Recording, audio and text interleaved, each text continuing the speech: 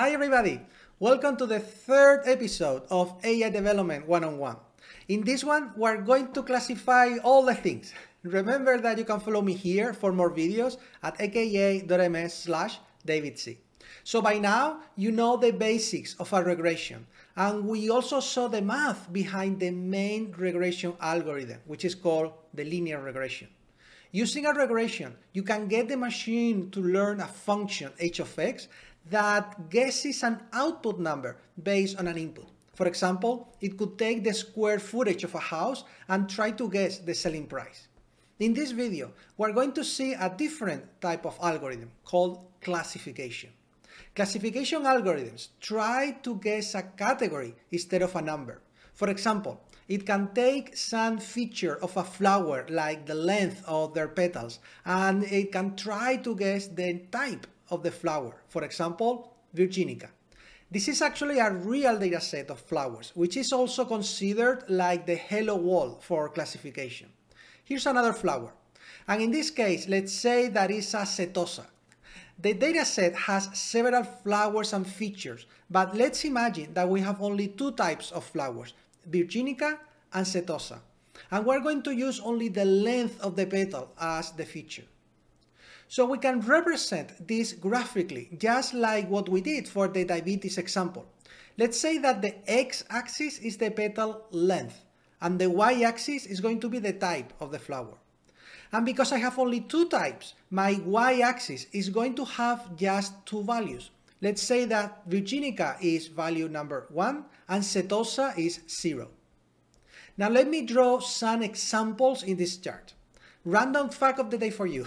Setosas have short petals, so they will all be on this left side of the chart. And then I will have a bunch of examples of Virginicas mapping to the y equals 1. And in this case, on the right, because they have bigger, bigger petals. Eh, so these videos are not only educational for machine learning, we are now expanding to new horizons like botany. Okay, so now I have to think of a function h of x that can map to these points. You know this saying that when you have a hammer, all you see is nails? Well, we can try to use the linear regression that we already know and love. And the equation was, if you remember, theta 0 plus theta 1x. The resulting line would look more or less like this. I mean, not the best h of x in the world, but, but it can work. Imagine that I get a, a petal length right here. The output of the model would be here. An obvious approach now is to identify anything below 0.5 as a setosa and anything bigger than 0.5 a virginica. So this one would be a setosa, which makes sense uh, be because it has a, a, a, small petal. And you can see that actually all the examples would be classified correctly by this model because all the setosas are to the left of this line and all the virginicas are to the right. But unfortunately, this was just luck. Because imagine that I have now another example of a Virginica right here. Just because I happen to have this additional example that is quite big, my linear regression would move. The 0.5 line would move too, and the model wouldn't work well. For example, it would classify this flower as a setosa, which is, which is wrong. The good news is that there's a solution for this. We're going to use a different h of x. Instead of a line, we're going to use an expression called sigmoid function or logistic function. The equation for this function is a little bit more complicated, but it's, it's going to be worth it, I, I promise. It's 1 over 1 plus the number e to the power of minus the same equation that we had before. So theta 0 plus theta 1.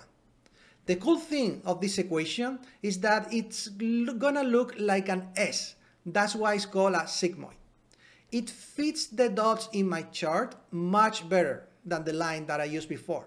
And, and it, works, it works better for extreme cases because you see that it flattens over time. So this approach is called logistic regression. And I know that the name is super confusing because it has regression on it, even if I'm doing a classification. It's called regression because the output is still a number between 0 and 1 and not just a category. But you can also interpret that number as a probability. For example, if you get this input, imagine that you get an output of 0.8.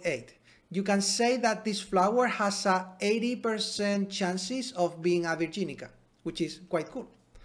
And just like the linear expression, I can control the shape of this curve by changing the parameters theta 0 and theta 1. So you can get different offsets and different inclinations to get other functions like this other, this other two. So how do we find the best curve to fit my samples? How do I pick the best theta 0 and theta 1? Remember how we did that? We're going to use a cost function measuring the distance of my predictions to the real values. So these distances here. Let's call them Ci. Let's use now the same equation as the one that we used for the linear regression. So y minus predicted y squared. Then I can define my cost function as the average of all of these distances. So the summation of all my Ci's. Now I want to get the parameters theta 0 and theta 1 to minimize this function. And for that, we can use our friend, the gradient descent. But we're going to have a problem.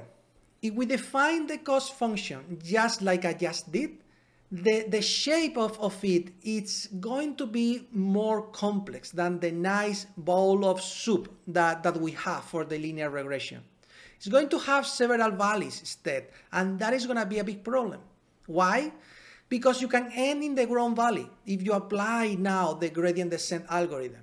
Imagine that you start here and you move down the mountain using the gradient descent algorithm. So first step, uh, you can end here, then here, then here, and so on. So, oops, you see what happened? I ended in the ground valley. I should have ended here, which is, which is deeper. This problem is super common in machine learning and it can give you a big headache. Fortunately, there's a way to fix this for the logistic regression. Instead of using this formula for the cost function, we're going to use a different one. And it may look daunting at the beginning, but don't you worry, it's, it's not that complex. It's going to use logarithm functions instead of squares with some funny math. The trick to understand this formula is remembering where the y's are coming from. Y's are the examples in my data set, right? And eh, so these two y's are going to be the examples. Therefore, they can only be two values, 1 and 0. So when y equals 1, so if the flower is a virginica, this whole thing would be 0. And the whole part of the second part of the equation will go away. So the resulting function when y equals 1, so when the example is a Virginica, is just this component, a logarithm. Let me show you this component in a plot so you can understand what is happening here. Let's represent ci in one axis and the predicted y in the other. A logarithm is going to look like this. Now imagine that my guess is 1. So the guess is correct because uh, this was the function when y was uh, 1. That, that would be this point here. So when my guess is correct, the cost function is 0, and, and that is perfect. If my guess is incorrect, so if my guess is 0, a setosa, then it would be this point here. And at that point, the cost function will be super high, actually infinite. If it's close to zero, it would be super high. For example, this point here. So my cost function gets really high when the guess that I get is uh, of my example is really bad. So the other part of the equation is for the other case. So it's going to look exactly the same, but the symmetric of it. So I keep penalizing the model when the guess number is different from the example. That's the whole point of the cost function. So the beauty of this new cost function is that the resulting function is another nice bowl of soup. And that's wonderful because I can now apply my gradient descent smoothly and walk down the mountain and end in the minimum value of this cost function. Actually, here's a fun fact. The formulas for the steps are going to look very similar to the ones that you know for the linear regression. So if you calculate the derivatives for this cost, fun cost function, it's going to take some math because you have exponentials and logarithms, so it's going to be hard. Uh, but let me show you the final equations. Uh, do they look familiar to you? Because they're effectively the same derivatives that I had in the linear regression, like ta-da! So this is the one with respect to theta 0, and this is the one for theta 1. So effectively, they are the same ones that we have for the linear regression. So the training that we saw before for the linear regression is going to be exactly the same. We will have the same loops with epochs and iterations. And the only difference is how we calculate the predicted y for the updates of the thetas uh, using this formula instead of the linear function. And with this, we just ended episode 3. Now you know the ABC of machine learning. In the next episodes, we're going to introduce other types of regression and classification algorithms to end in the big star of machine learning, the neural network. You can't miss all this fun. so remember that you can watch these videos at aka.ms slash AI101 and you can follow me here in LinkedIn at aka.ms slash David C. Thank you for watching.